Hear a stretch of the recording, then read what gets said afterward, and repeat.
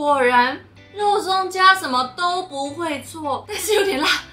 我觉得它的肉松算是比较细致的那种，听说是肯德基自己特制的肉松，我觉得还蛮好吃的。但我觉得有点可惜的就是它只有半面会铺上肉松跟美乃滋，看到背面的部分呢，就完全是一块原味的炸鸡，算是口味调的很好吃。只不过这个口味呢，你是预想得到的。哎，首先是呢这个玫瑰荔枝酱。它的玫瑰味还蛮重的，但是呢，有一个点我自己觉得有点奇怪，这个蒟蒻温温的，好像有点怪。它在软嫩当中加了一点 Q 弹的东西，我个人觉得是还蛮有创意。它的馅料的部分呢，也在这个奶油中间涂了一层荔枝酱，这个吃起来还蛮有新意的。Hello，大家好，我是妮雅，又来到我们的美食新品开箱系列啦。母亲节要到了，每次到这种节日的时候呢，各大素食餐厅。饭店等等呢，都会推出一些母亲节的特别商品，所以呢，肯德基跟麦当劳都在这两天接续推出了一些期间限定商品。那肯德基先推出，所以呢，我们今天就先开箱肯德基的母亲节期间限定商品——海苔肉松脆鸡。每一次他们推出一些期间限定商品的时候，我都要记那个名字记好久。那这次呢，它就非常的简单，就是海苔加肉松，再加上一点美乃滋所做成的。炸鸡，那为什么这样做呢？肯德基官方是说，哎，让你回味一下小时候母亲的味道。那我自己是觉得还蛮有道理的，因为小时候呢，大家上学前应该很长都在吃粥吧？那吃粥呢，你就会配肉松嘛，配海苔。那美乃滋的部分呢，我觉得它就是为了综合这个肉松啊跟海苔的咸嘛，就造就了一个咸甜合一的炸鸡。未吃先猜的话，我觉得应该是蛮好吃的，因为肉。肉松这种东西，其实搭配什么好像都很难难吃。另外，除了推出这个海苔肉松脆鸡之外呢，肯德基这次还蛮厉害的哦，跟卡纳赫拉联名推出了一款新口味的蛋挞——玫瑰荔枝 Q 蛋挞，长得超级好看。我觉得它如果难吃，我会很难过，因为它长得超漂亮的。我觉得它应该可以算是肯德基目前推出以来最好看的蛋挞吧。好了，那我们就先从炸鸡开吃吧。那我们这次买的餐点。呢，我觉得非常棒，因为它是肯德基 A P P 里面的一个限定餐点，内容物呢就只有两块这个特色的炸鸡跟一杯饮料而已，非常适合想要尝鲜的人。因为像我呢，每次都点的一些什么茶楼套餐啊，连 N 套餐我可能都有点吃不太完，所以呢，这个套餐简直是福音，而且可以不用。大家可以看一下我最近的脸，幸福肥的挺严重的。那现在就来打开看看吧。哦。表面看起来蛮好吃的哎。它的表面呢，我们可以看到在最底层的部分呢，涂了一整层的美乃滋，然后在美乃滋上面呢，再撒上很多的肉松。哎，我觉得这点不错，因为这样子肉松就会粘在上面。那最后呢，还有加上一些海苔丝，其实就很像是我们小时候在吃粥的时候呢，会加的那个海苔肉松啊。不过这里要说到呢，它的肉松我觉得还蛮特别的，它是用鸡肉做成的肉松。我们现在就马上来吃吃看吧。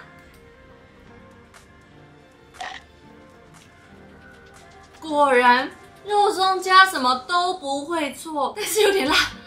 首先呢，我们一开始吃下去就可以吃到明显的肉松香气，还有它肉松那个蓬松啊，一丝一丝的口感。不过呢，它的美乃滋倒是没什么感觉。再来呢，就会是鸡肉的辣，还有鸡肉本身肉质的那个味道。所以其实它比较像是肉松脆鸡。我觉得它的肉松算是比较细致的那种，听说是肯德基自己特制的肉松，我觉得还蛮好吃的。那再来呢，我终于找到美乃滋的功用在哪里了。美乃滋它其实就只是把肉松的那个咸稍微中和一下，所以你会觉得这个肉松吃起来好像有一点点甜的感觉，但是味道不会很重。那整体来说呢，它还是一个咸的炸鸡，然后。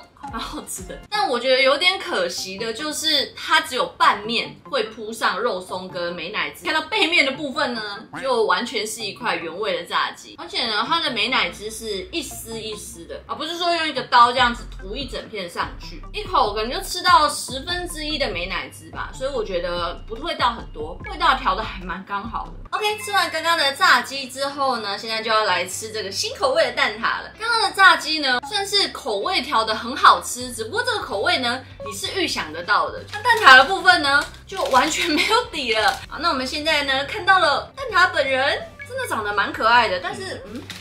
它两颗蛋挞，你会觉得哎，好像馅料上给的有点不太一样啊。像我现在右手边的这一块呢，它就给了非常多的这个玫瑰花瓣；左手这一块呢，就就只有一片，还快掉出来了。估计因为要加的料太多了，所以每一颗蛋挞呢，可能会长得稍微有点不一样。那我们可以看到中间这个蒟蒻呢，它是荔枝蒟蒻，然后在旁边呢还会撒上一个，这是玫瑰荔枝酱，所以呢应该是会吃到一些淡淡的玫瑰香。那就开吃吧，我要吃这个料看起来比较多。